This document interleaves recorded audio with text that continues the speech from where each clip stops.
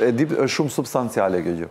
Mm. Në qoftë se ka një gjë më të shëmtuar, më të shëmtuar, një standard më ordiner që ndodh në politikën shqiptare është shantazhi.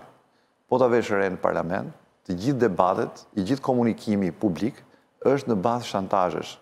Pra, Andaj shpesher është i pakuptushëm për publikun. Exact. Të përta flasim në gjusëm frazë. Absolutisht. Pra, politika shqiptare ka ngritur standardin më të pështirë të mundshëm, duke krijuar një komunikim të nënkuptuar nëpërmjet shantazheve midis palëve.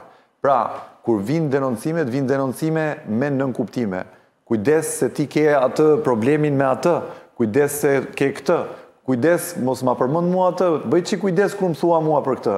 Pra të gjitha këto kodet tregojnë që këta i kanë njëri tjetrit dije për çfarë Dhe ne presim të dëgjojmë ide alternativa. Dhe ne presim që të debatojë Iliri me Denisin për arsye, për argumenta, për teza, për teza antiteza, për ideologji e majta e djathta. Nuk ka fare as majtë as djathtë. Këtu ka vetëm shantazh. Këtu ka vetëm kush të kapi njëri tjetrin në më shumë në në pozita të vështira për t'i qepur gojën njëri tjetrit.